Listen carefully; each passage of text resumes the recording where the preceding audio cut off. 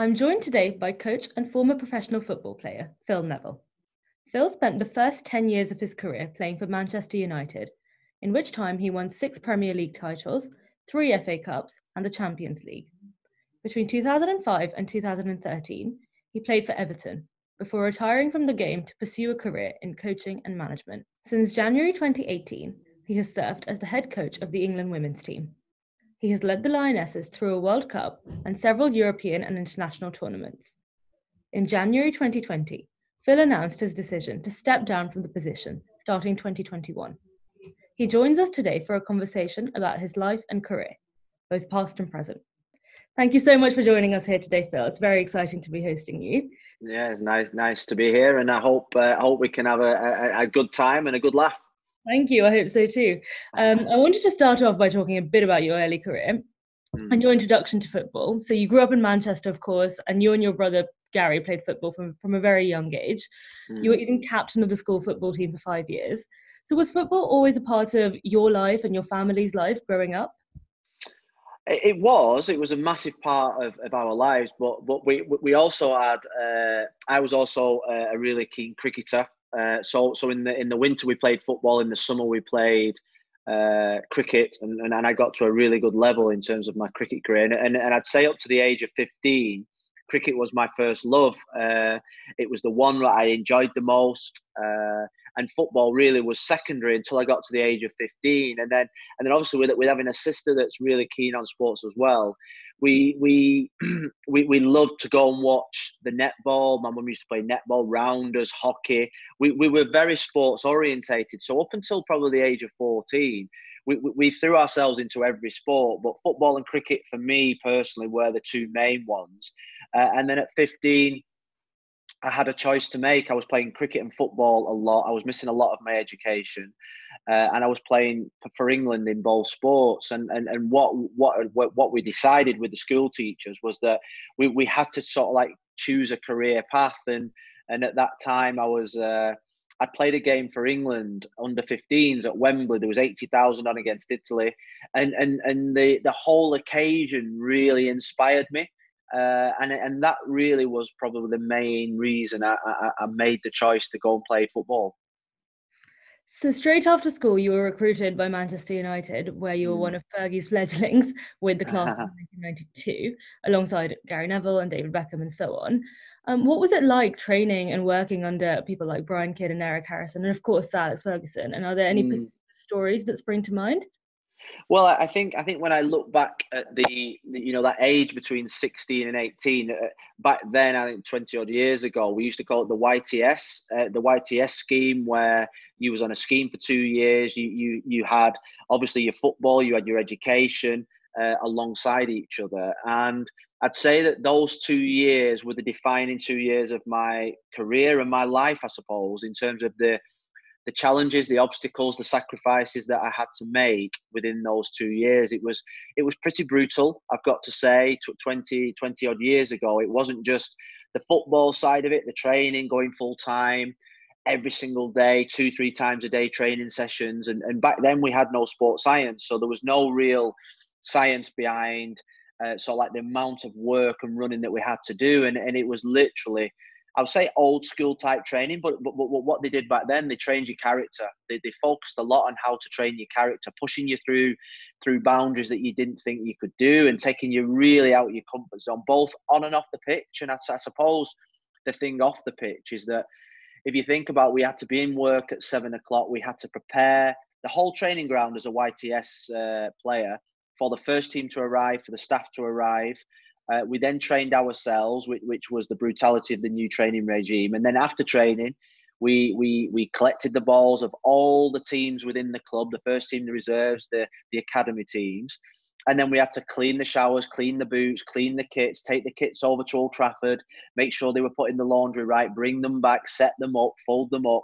And I suppose then we then we had to then go out and train again in the afternoon. And then in the afternoon after the training session, we had to come back in, clean the kit, clean the boots, clean the showers. And, and I suppose that for a two year period really, really, really tested us. And there was days when I used to go home and fall asleep on the bus on the way home or in the car and go home and really sometimes you'd get emotional about it was hard, it was hard work. You, you, you really emotionally and mentally were taken right to the very edge to the point where you'd say, is this really what I have, what I have to do, want to do? And ultimately, because because I really wanted to do it, it was just you just had to get through it and survive, and then prosper at the other side. And uh, I'd say that them two years, bearing in mind what I'd gone through uh, then for the next twenty years, were, were the defining moments of my life. Coming out of school, where where where everything's done for you, everything's done for you at home, your meals are cut to the big bad world. Uh, it, it, was it was fantastic, fantastic education, and I'd say that Eric Harrison, who sadly passed away uh, recently, was was the main person in that in terms of preparing you for. And he used to say to us, "I'm preparing you for life, not just for football." Uh, and and every single day there was challenges. If we didn't clean the boots right, if we didn't clean the showers right, my, my, my job was the showers. He would come down, and if you cut cut to corner in any aspects of your football or, or your job, he would he would absolutely come down on you like a ton of bricks. And I think I think what it taught us was definitely to work in a team, the self discipline, the accountability, and also the standards of what Sir Alex and Eric Harrison and Brian Kidd set us meant that nothing but the best was was uh, was expected. Did you feel like you had to give up any normal part of growing up or your teenage years to do this? Everything, uh, I left school at, uh, at 16 and literally I cut off that part of my life. I, I made a conscious decision, uh, br- brutally, really, to just to say, right, right, I had the best friends ever. I had a great network. Uh, I, I literally just sort of like took them out my phone book and said, sorry, uh, my path's different to your path. I'm going on a, I'm going on a path now where where I, actually for two years didn't socialise, didn't go out, didn't have any friends outside of Manchester United. Uh, and I'd say that that was probably the best decision that I've ever probably made because ultimately, when you look at the pathway of going to college and university, the lives are totally different. You know, you have to work hard, make sacrifices, but the social side of it was one thing that uh, you cannot do as a professional footballer. And uh, I'd say that that cutting off at 16 from friends that were, were special was was one of the hardest decisions I had to make. So you finally got to play for the first team in the 1994 and 1995 yeah. season. Um, did you feel prepared for it at all? Had these years of training prepared you, or was it an entirely alien experience? do you know what you you don't know if you're ready you don't know if you've prepared right until you actually set foot on that field in front of 50,000 60,000 and somebody is running at you in a 1v1 situation so so i think i think what we always uh, used to say to each other is, is that the practice that you put in means that when you get to the point of having to go out there and perform you will be able to handle any situation that goes uh, comes your way and i think i think that was that was the feeling when, when I got named in the first ever team uh, for my for my debut. There was one of fear, excitement, trepidation uh, going onto the pitch. But what you had to fall back on was the amount of hours that you trained and practiced, and you had to trust yourself. And you, when you go out onto the pitch, you do not know how you're going to handle the situation. You know, some some people I've seen in my career totally freeze, totally not being able to handle it, uh, be exposed uh, incredibly. And un- unfortunately for me, I went out there and, and I was the other side. I was like, wow, this is what I want. This is what I've worked hard for. This is what I've sacrificed for. And I, and I, I think that the preparation, the hard work that I'd put in helped me prepare for that moment. And I suppose it's like going into an exam. When you go into an exam in your final year at school, college, or university, if you put the work in and you prepare right, you don't know how you're going to do, but it gives you the confidence and belief when you go into there for the big moment for you to produce. So you played for Manchester United for ten for over ten years until 2005.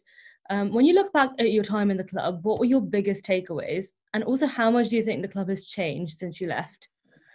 I, I think the biggest takeaways, the biggest lessons was was the the incredible high standards that have to be met to become uh, I'm going to say an elite sportsman, but somebody that, that, at the top of their profession has to make, and that that that that I think the values I probably go beyond football. I think they go to, to any any walk of life that you enter into. The the the simple uh, values that we had at Manchester United were were hard work, was was to have ultimate respect, was to was to enjoy yourself as much as you possibly can, and, and to have a, a degree of humility about it.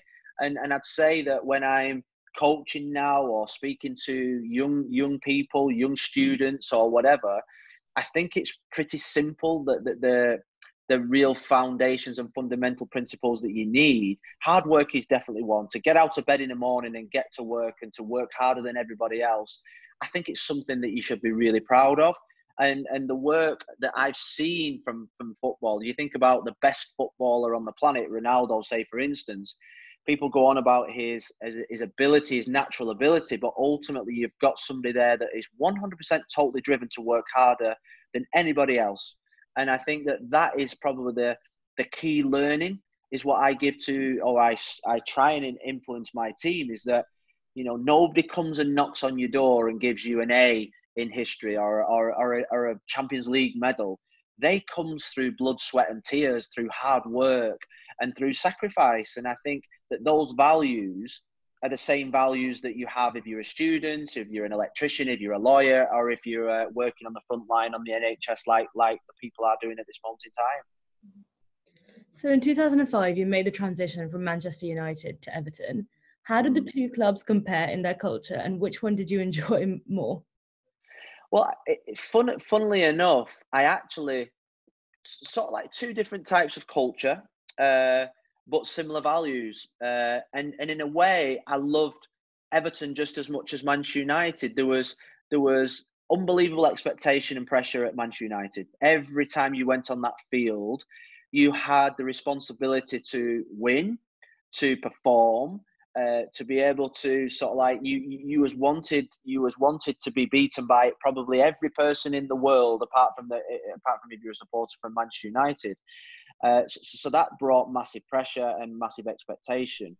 But the values uh, that we had at Everton, uh, the expectation was was probably not as great.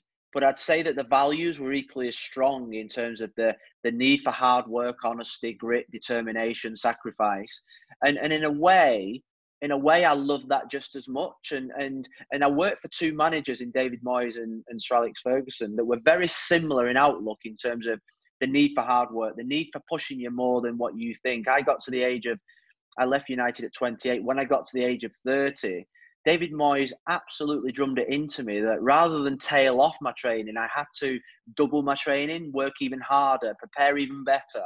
And I'd say that he he played a large part in in me being successful then for the next six, seven years in my career and having the longevity of playing at the top level to us 36, 37. And, uh, and that, and people ask me about the values. The values were the same in terms of hard work, the determination, the sacrifice, and, and having a, a bit of humility about it as well. And the most important thing, we, we enjoyed it. And, and, and that's, I think that's key as well. Turning now to international football, um, you were picked several times between 1996 and 2007 to play for hmm. England, mm. Including being the youngest member of the Euro 96 squad. Yeah. Um, how do these experiences compare to those at the club level? They were totally different. Uh, England and Manchester United, I found totally different experiences. You, you, you had Manchester United and Everton clubs that you had real deep affinity for. You had love, and and uh, all I ever wanted to do was play football for Manchester United. I've got to say that was my goal. Uh, you know, anything above that was was like the cherry on top of the uh, on top of the cake. So, uh, but I've got to say that when you go up and play for your country, is that you don't realize your the emotional uh, attachment you have to your country until you stand on that touchline and listen to the national anthem. You know, you, you can meet up for camp. Uh, you can have seven, six, seven, six or seven days preparation, and then you either stood on the touchline or stood on the pitch. And when that national anthem comes on, you realize you're playing for something greater than a club. You're, you're playing for a country. You're playing for millions and millions and millions of people that brings so much joy and happiness uh, to to a lot of people, and and that that makes you unbelievably pr- proud, and, and and and it's an experience that you can't really explain. Uh, because when you go out for your club, there is a bit of a siege mentality. You you you're in a you're in a pressure you're in a pressure cooker, sort of like uh, environment where where it's you versus the world. But for England, it just felt bigger, felt bigger. The the expectation, the pressure, uh, and the demand for success. And uh, I've got to say, my biggest challenges probably in my career, from a mental point of view, was was probably playing for England. And are there any highlights from your international career that particularly yeah. stand out to you? Yeah, I mean, I mean that that Euro '96 tournament uh, for me, it probably didn't get as good as that uh, for the rest of my international career. Uh, it was without doubt the greatest experience that I've ever been involved in, in an international shirt.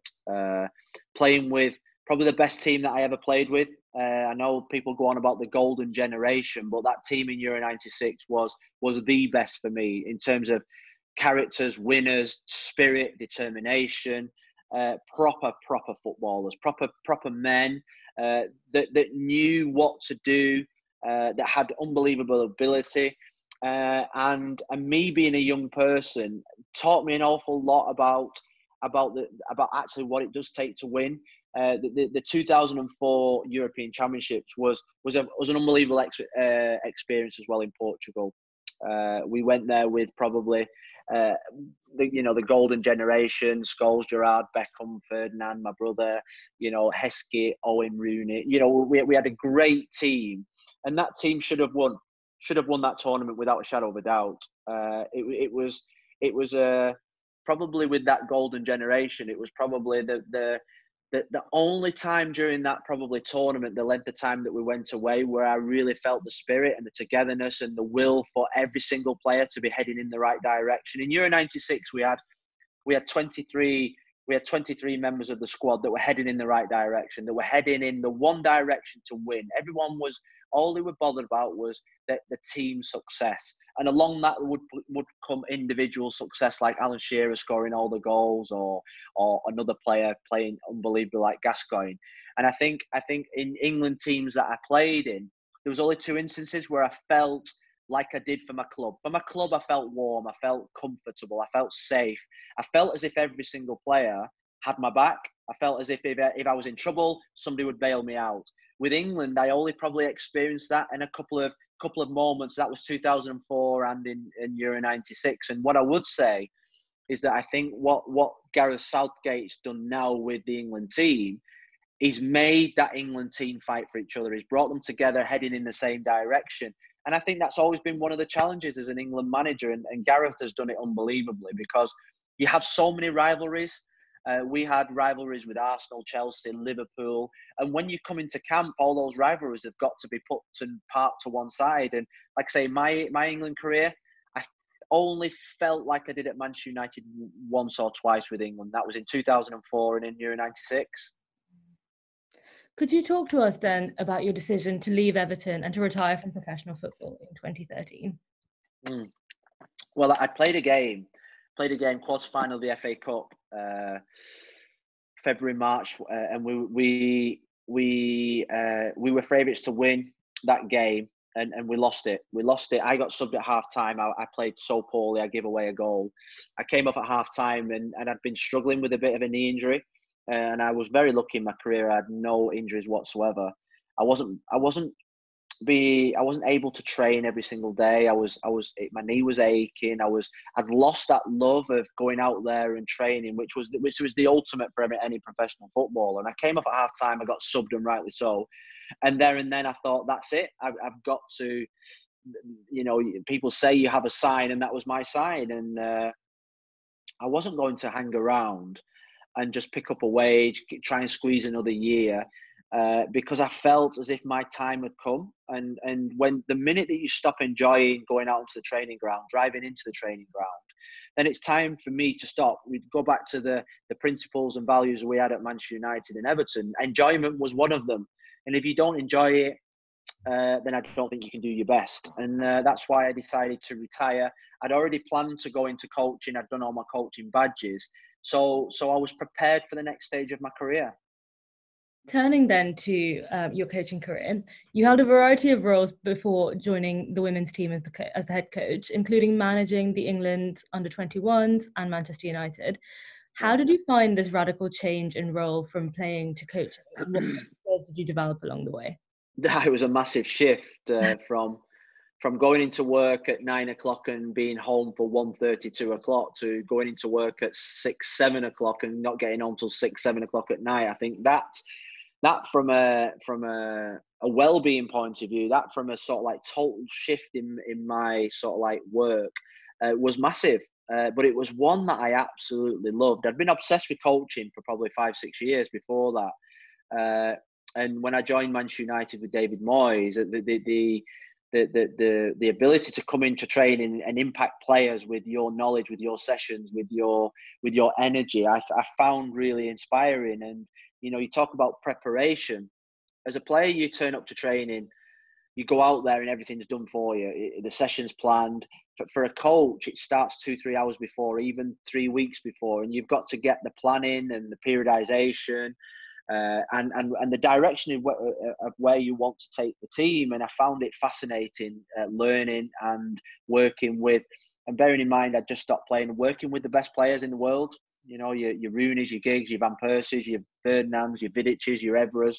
These were these were these were world class players, and and as a coach, you've got to uh, produce produce produce training sessions every single day. You've got to develop you've got to challenge players every single day to keep their their learnings. And I, and I always reverted back to the best coaches that I played with or the best teachers that I worked with were the ones that challenged me every single day and and that was the type of coach that I wanted to be so in that first season taking away the results of the team it, it was one of the most uh, unbelievable experiences in terms of my development as a, as a coach and a person. And I learned so much from the coaches that I was working with and from the experiences that we were developing that season, some good, some bad.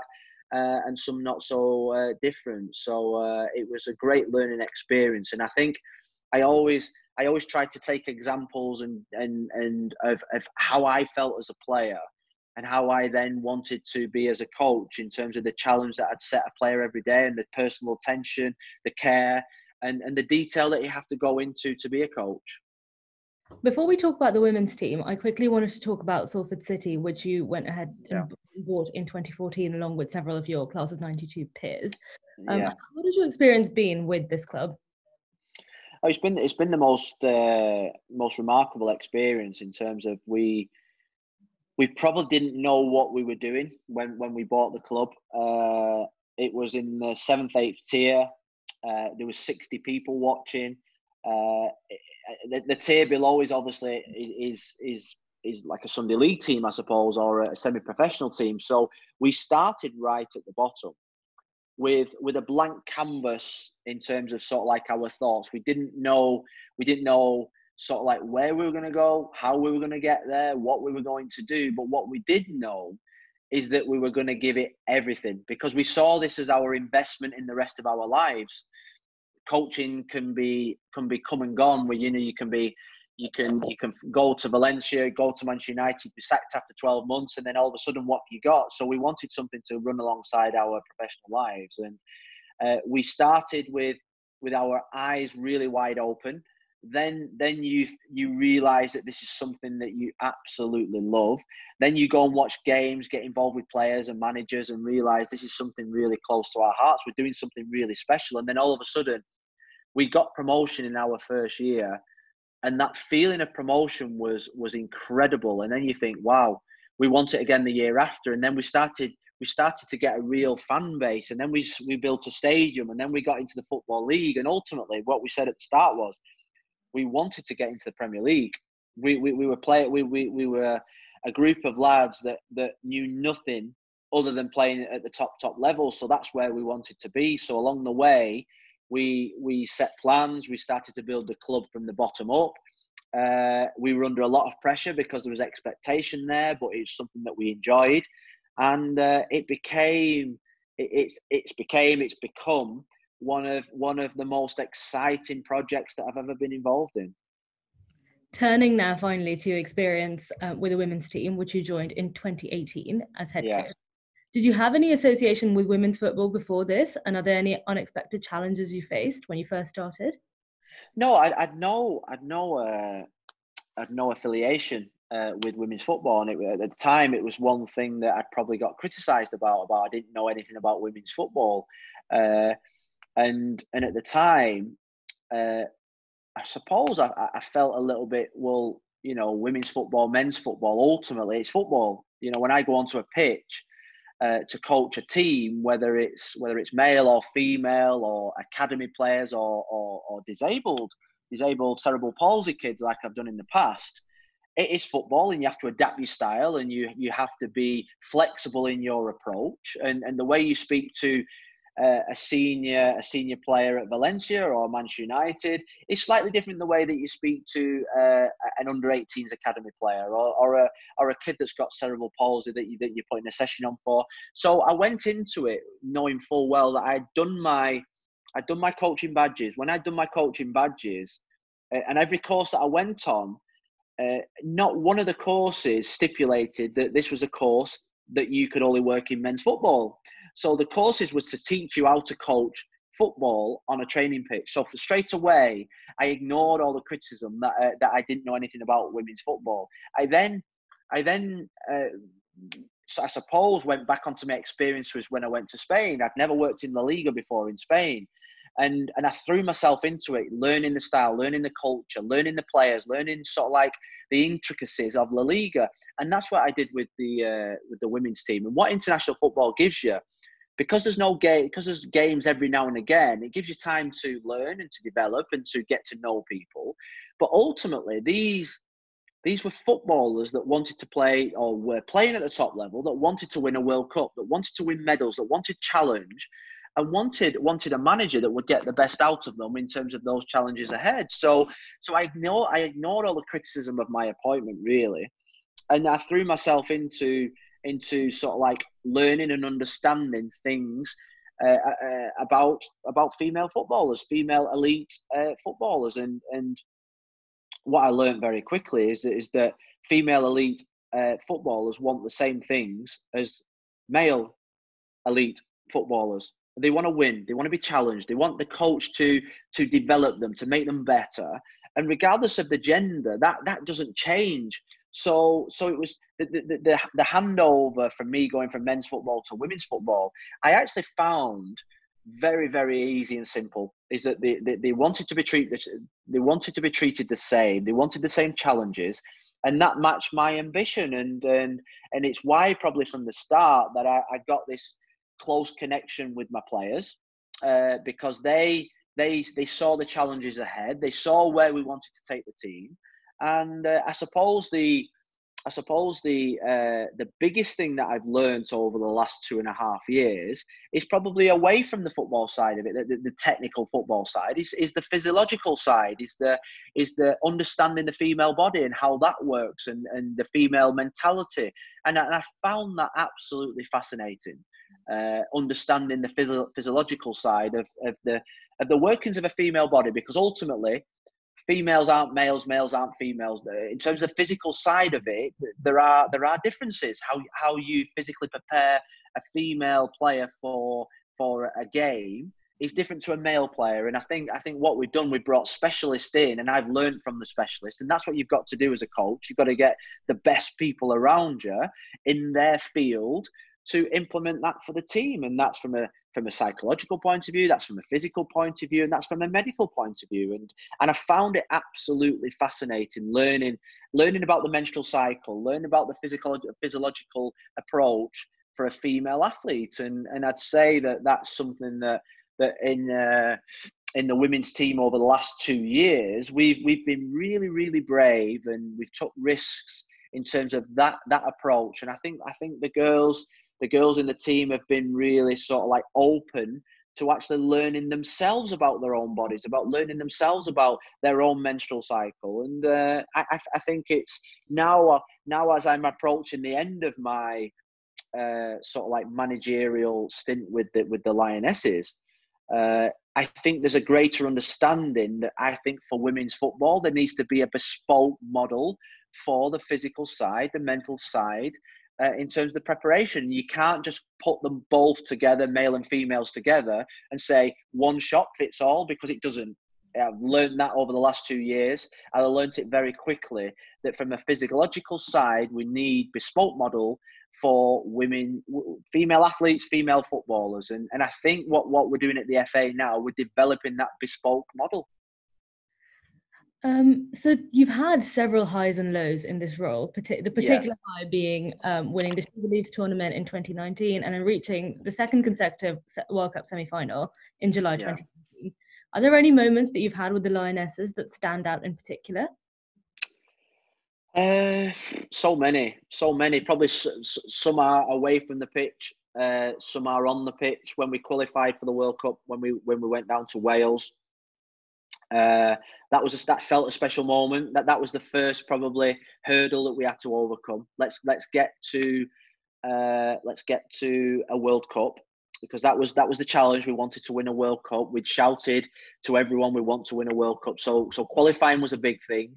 Uh, actually the 51 days in France for the World Cup were probably the best 51 days that I've, that I've had in coaching management so far. Uh, it felt like a club type atmosphere. Fear. We had we had 24 players and we had 30 staff, 50 50 odd people in the travelling party, and it just felt the most incredible 51 days of of sort of like the momentum changing towards women, uh, female footballers. And and and you know when I got the job, there, there was there was many there was many probably uh, avenues that we had to overcome and, and challenges that were set to me. And it wasn't just about getting a job in football and you had to win the next game. Yes we had to win. Yes we wanted to improve. But there was there, was many there was many other challenges and, and one of them was was raising the profile of female uh, of, of, women's football. Um, get, getting bigger crowds to attend our games making sure that you provided opportunities to, to female coaches uh, because there was a lack of opportunities two and a half years ago. So, so in terms of sort of like the the spectrum and the challenges within my job, there was many, and actually, actually the, the, the on the field stuff was was probably no different to getting visibility for our footballers, getting us out in the open, making sure that when when young girls go go go onto the street, they go with a football and they want to be the next Lucy Bronze, Steph Houghton, Nikita Parris Uh, and and that was a massive challenge. And I've got to say that that one of my proudest moments was when we when we left for the World Cup. Think about the way that we announced the World Cup by by announcing them on one by one on Instagram. That that blew that, that sort of like blew the uh, the players in terms of sort of like wow we are, we are now visible. We're now having live games on the BBC every single time. We're now getting an unbelievable amount of viewing figures viewing women's football. And I think the World Cup was the defining moment for for women's football. And uh, my, my biggest fear now is with, with the coronavirus that I hope we haven't lost momentum. Uh, and I suppose the last game, the last game that we had at home, there was 80,000 on at Wembley, which was the most remarkable occasion. Uh, quite emotional for everybody uh, in terms of sort of like, wow, we've, we've come a long way in a short space of time. Uh, but there's still a long way to go. Uh, beneath the surface of the razzmatazz, uh, there is an awful lot of work and investment and time that still needs to go on to keep the foundations really strong. And that's going to take time and that's going to take massive investment. But I hope this coronavirus doesn't set uh, women's football back. So, a couple of months ago, you announced that you would not continue to manage the team after 2021. Mm. Um, yeah. Could you talk to us about the thought process behind what I can imagine must have been a very tough decision to make? Yeah, well, I, th- I think when I got the job, uh, it was a three-year cycle, three-year cycle of uh, the World Cup, the Olympics, which which we should have been this summer, and then finishing with the Euros in England uh, in 2021. That was I felt was was the the cycle that I wanted to do. I was young. I was 41 when I got the job. Uh, just just turned 41 when I got the job, and I, and I felt that that that was three years to to try and achieve something that the country had never had before, and that was to get a World Cup or Olympic gold or a European gold. Uh, ultimately, when when you are in an international football, you don't get day to day access and impact with your players. I'm young, I've got energy, and I think I think international football is definitely something uh, that that is fantastic for short periods of time when you go on to camp for 10 days but then when you let the players go back to your club I think over the last 12 months, or, or, or, I suppose from the whole time here. I've been really frustrated with you then have to say goodbye to your players. You don't impact them for three to four weeks. You then get them back onto camp for 10 days. And, and it takes you probably three or four days to get used to each other's way of working again. So I think I always had in my mind three years working in international football was was going to be my maximum probably at this stage and time in my life. And uh, the, the, the, the, three year process would have involved three major, major tournaments. And I think after three major tournaments, it's probably is time then to pass over the baton to somebody. The, the, the, obviously with, with the coronavirus, which was unprecedented, nobody knew that it was coming. It's changed the landscape of, of how and, and, and, and what we're trying to do. I, I will leave the job with only going to one major tournament. You know, the, the Olympics obviously has been, been postponed a year and the Euros has been put back to 2022, and ultimately, ultimately now that has changed the dynamics of, of the job, and ultimately you've just got to go with it. I think we're in unprecedented times now, where where ultimately you want to uh, do the right thing and you want to stick to the plan, but plans have changed, and you've got to be flexible with your thought processes now, and and that's what we've done. Me and Sue Campbell, who's my boss at the FA, we, we, we've had frank and honest conversations about about what's happening at the moment. And within that, the, the, the, the plan has changed. And ultimately, what we need now is we need what's best for the Lionesses. And that's, that's obviously me, me leaving in a year's time. So before we take our question from our members, I just wanted to ask a couple of general questions about women's hmm. football, some of which you touched on earlier. So there continues to exist this huge pay gap between men and women's football yeah the opportunities that both teams get on a national and international level. This is particularly relevant at the moment given the case Alex Morgan and Megan Rapinoe are fighting in the US. So what do you think needs to be done and can be done to overcome this glaring disparity?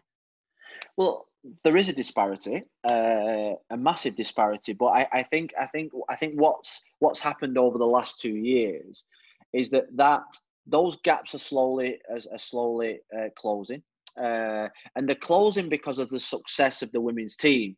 And, and I think that's really important. Now you think about the sponsors like Barclays, Visa are now coming in to sponsor the women's team. All of a sudden now that the, the revenues that the that the men's side are getting are absolutely astronomical.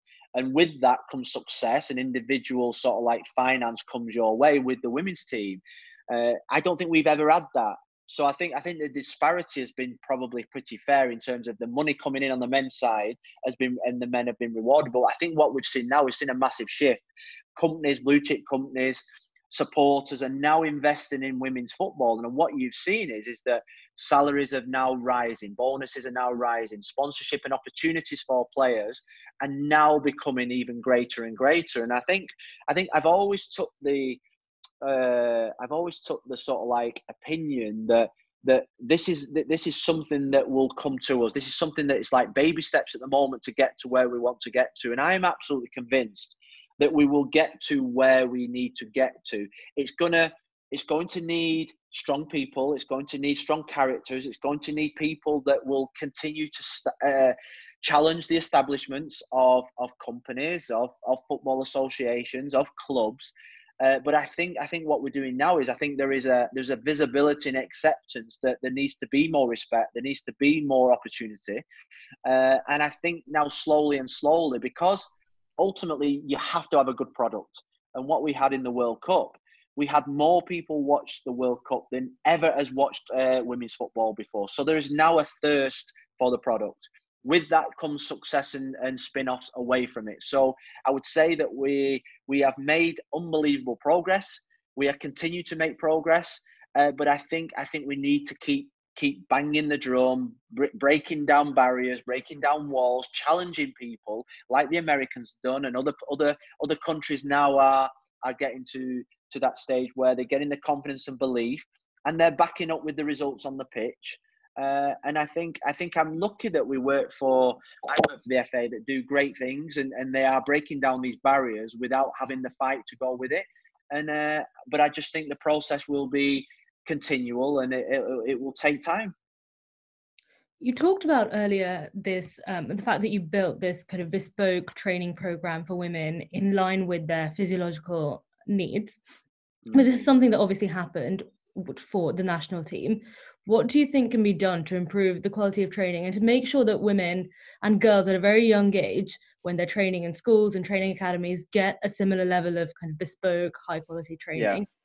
Yeah. yeah, well, I, I think I think that is the biggest challenge. I think, uh, and it, it's it's about education. It's about education, not just for, and I think it's education for the female athlete, and I think it's education for obviously the coaches, the trainers, because obviously I came into the job two years ago, and I've been educated I've been educated about about uh, cer- certain ways to train, certain ways to uh, obviously act in certain situations in terms of the training programs for the girls. So that that's come for me by being at the top level, by investment, uh, and by education. And I think now what what I think will happen at the FA, and it's happening in WSL clubs now, where education and investment into into uh, the research of female athletes. You know, you, you think about all the the cruciate ligaments, ACL injuries that, that we've had over the last two years. It's been it's, it's been it's been un, unprecedented, really. And I think then there is research now going into that. Why does that happen? How can we prevent that? And then that is filtering down through from the senior teams into the academy teams into the youth teams. And I think I think again, this is a process that actually is is happening in women's football.